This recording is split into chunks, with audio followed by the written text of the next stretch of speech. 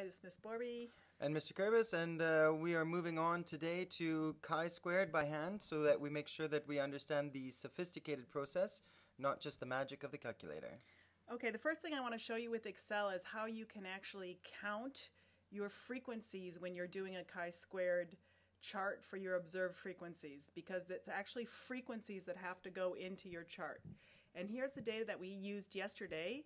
And what we're going to do now is we're going to sort the data. So the first thing that you can do is you can highlight it like this.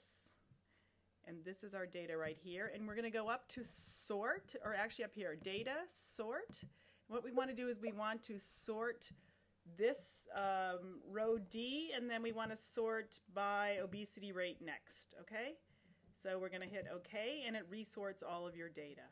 And what we want to do is we want to put it into four different categories and we're going to split the data based on the averages that we calculated. I have the averages down here. So the average obesity rate is 27. So we want to break our data in half between the lowest is 15 and up to 27. So that means that right here we can actually break our data in half. So what I'm going to do is I'm just going to insert some cells there and move them down. Okay, now that we've done this, we want to sort our obesity rate also within each one of these categories, within this category and that category down there, by the mean again, which is 20.4. And let's use uh, 20.1. So anything that's up to 20 in uh, one category and greater than 20 in another. So what you can do is you can highlight right here and then you can sort within this, just this category right here. And we can do the same thing again down here. And we're just going to sort within that category right there. That sorts that. And then we want to break it between, what did I say? 20, right? I think so, yeah. Was it 20 or 21?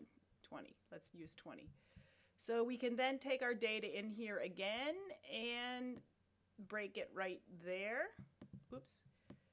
So I'm just going to again insert some cells there, shift down, and break it again here by 20. No, it was by here, right? We want 20 included in that one.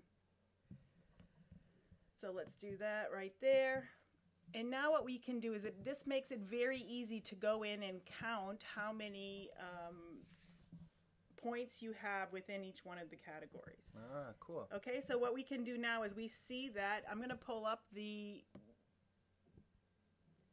if you can still see this, this is what we need for our chi-squared test here with the observed values. And we're going to put in each one of these uh, spots right here the frequency of points that are less than 27 and less than 20.1. And as you can see, these are all less than 27, less than 20.1, and we can simply then just count them. 1, 2, 3, 4, 5, 6, 7, 8, 9, 10. I thought it was 11 when I did it the first time. Is that the same?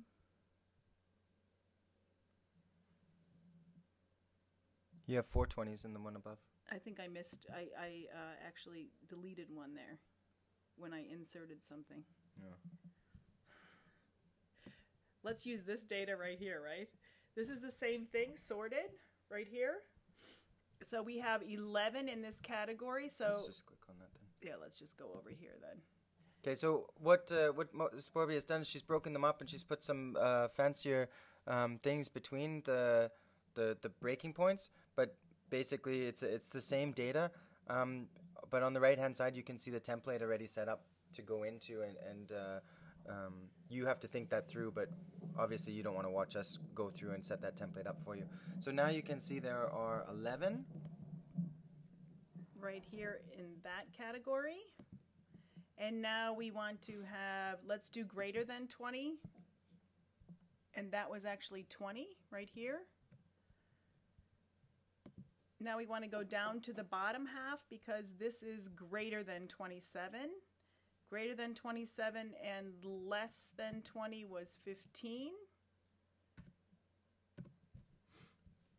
and the last one was 5. Okay, so can you explain uh, what the two columns on the left are and then the two columns sorted? Okay, the two columns on the left are exactly what I started with. That's just the data with the sort between um, 20, for bachelor degree greater than and less than 27. Okay. And then this next column right here is then sorted for less than or equal to 20. And you chose And the means. Why did you 20. choose the means? Um, I think with this, with just two columns of data, the mean is a good thing to start with. Okay, but students can make their own decisions. They can make their own decisions, and now that you bring that up, actually, let's look right here. Because when you come down here and you do your expected values, if any of your expected frequencies are less than one, or you have expected frequencies more than 20% of them are between one and five, you have to look at your groupings and maybe change your groupings of data so that these numbers work out to be greater than one or actually greater than five. Cool. Okay. Or if you get to the point where these numbers are less than five, you need more data. Mm-hmm. Okay, so sometimes when you're working out your chi-squared and your frequencies are really low in one category, then you have to go back and collect more data. Ah, okay. Okay, so then we have ex- our expected values. Actually, right here, we can just get them from the calculator. And I did that. I uh, I don't have those answers. Do we want to do that on the calculator? Sure. Okay, so you know, uh, no, we No, won't we run won't through it it. right We there. I'll do it it right there. here. And it's two by two matrix. So if you forgot how to put these in, then uh, just watch the the previous podcast on that. And okay, s- distribution, chi squared. Calculate chi-squared. Second calculate.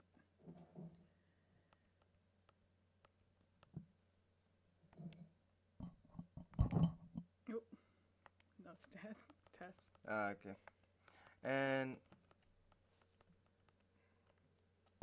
yeah, There. So th- those are uh, 15.8 and then 10.2 15.2 and 9.8 Okay, Mr. Kurbis did those actually on the calculator. Um, when you're doing your uh, project, it's something you want to explain one time how you get each one of these by hand using your row total, column total divided by total total. Mhm. Okay? and you, excel will calculate those pretty quick as well so you can see um, 31 so the, uh, 31 times 26 divided by this total here which is 51. Yeah. Should be, make sure your points uh, add up to the same number of points that you started with. Mhm. And then just like we did yesterday with our um, chi-squared calculation that we get from our calculator, we want to verify that with the math, the actual math and filling this chart out. So um, let's go ahead and put in our observed frequencies again. What were they? 11, 20, 15, and what? 5 and 5. And then we can put our expected frequencies in here, which were 15.8. Is that 10.2, that one? yeah 10.2 10.2. The 15 corresponds to. No, did I do that wrong? The 20 is 15.2, right? I can see them The go up a 20 little is bit 15.2. Let me go up a little bit here, if I can. Okay, we want 11 corresponding to 15.8, 20 corresponding to 15.2, 15 corresponding to 10.2, and 5 to 9.8. Okay, and then just like we did Yesterday, we're going to now calculate this, and we can take, or we could actually just do that by hand, couldn't we? Or do you want to do Yeah, it no, using, we can let's do do, Excel. it using Excel. Whoops. Not Mm. like that. We want to go here. We want to go equals to this minus this. And then we want to square that. So let's do it this time like this. With my caret, where did it go? Squared. yeah I don't know Didn't like that. maybe squ- just type squared. Or should I do the same thing again? Yeah, that's uh, Times